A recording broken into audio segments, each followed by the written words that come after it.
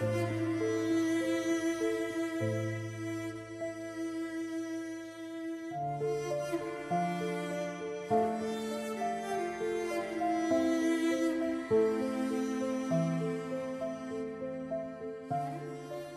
her zaman bizim arkamızda oldun. Bizi her şeyden korudun, kolladın. Biz senin yanında olamadık. Gitmemeliydim. İzin vermemeliydim. Biz seni koruyamadık. Affet bizi arkadaşım.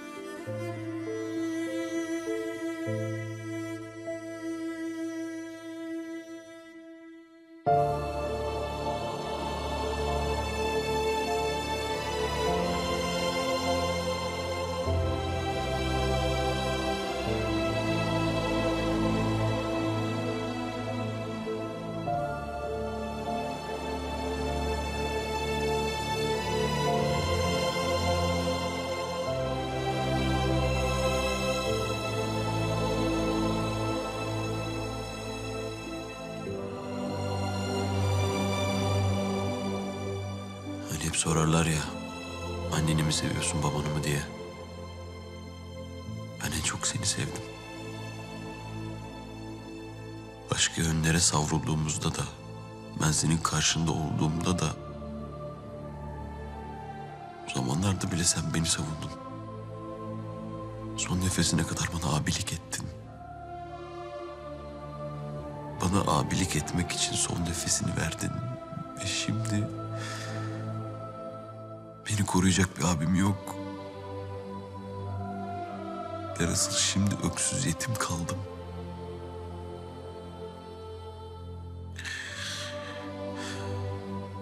Seni hep suçladım. Elif'e sahip çıkmadığın için.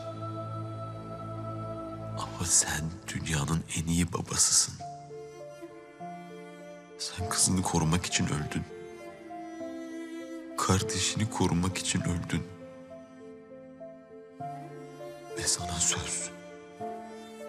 Bir gün Elif'e gerçek babasının kim olduğunu anlatacağım. Çünkü onun asıl kahramanı sensin.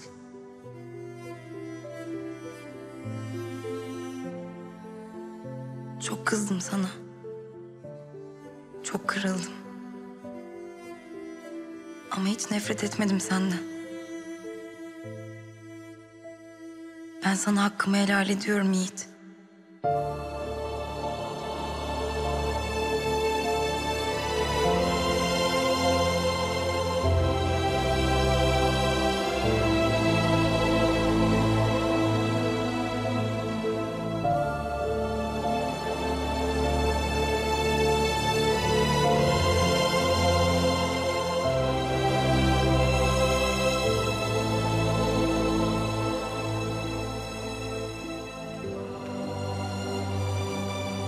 Aman dikkat et oğlum. İçindekiler kırılmasın sakın. Sakın.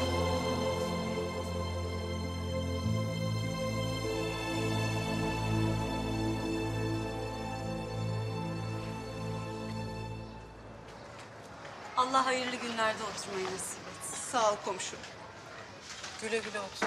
Sağ ol kızım.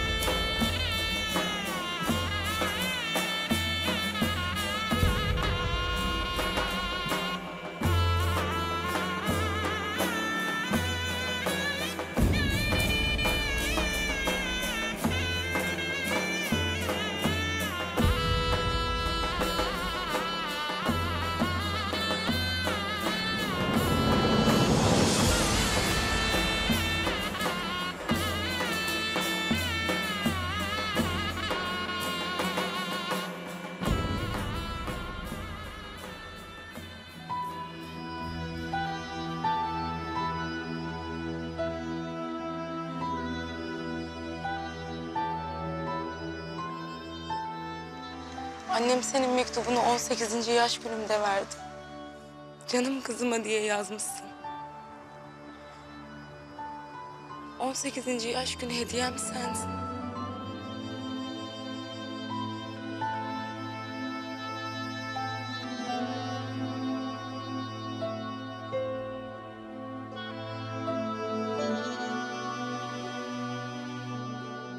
Bu baba kız olarak ilk buluşmamız. Bir bayram sabahı. Babadan ayrı kutlanan bayram ne kadar da bayramsa. Hem varsın hem yok. İçimde kocaman bir boşluk. Aklımda hayal meyal gülen yüzün. Bisiklete binmek için söz verişin. Biliyor musun? O bana anlattıkları masallardaki kahramanın sen olduğunu yeni öğrendim. Benim için hayatını feda eden babam. Benim yiğit babam. Ama hiç tanıyamadığım, hiç doyasıya sarılamadığım babam. Sen bakma benim gözyaşlarıma mutluyum ben. İyiyim.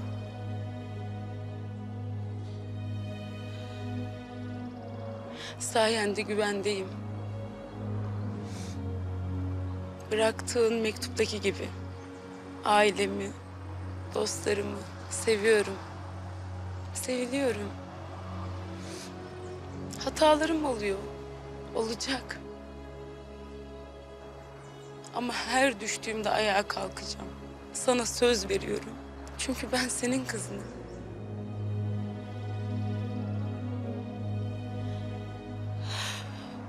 Mektubunda bu kalbin tek sahibi sensin demişsin. Sen de bu kalbin tek sahibisin. Kavuşacağımız güne kadar bana miras bıraktığın şerefle yoluma devam edeceğim.